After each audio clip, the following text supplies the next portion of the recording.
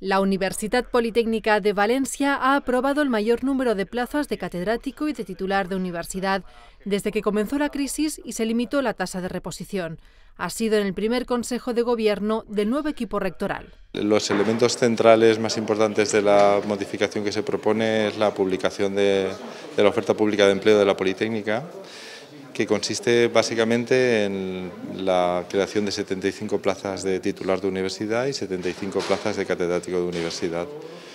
Eh, lo cual nos va a ayudar mucho porque da una oportunidad a profesores que están acreditados para poder seguir promocionando su carrera profesional. Evidentemente estas cifras son muy importantes y marcan una diferencia sustancial con lo que hemos vivido estos años previos. Por otro lado, se ha aprobado la amortización de 54 plazas de profesores jubilados, fallecidos o que han promocionado y la conversión de plazas que permitirá a los ayudantes que las ocupan continuar con su vinculación laboral con la universidad una vez agotada la duración máxima de sus contratos actuales.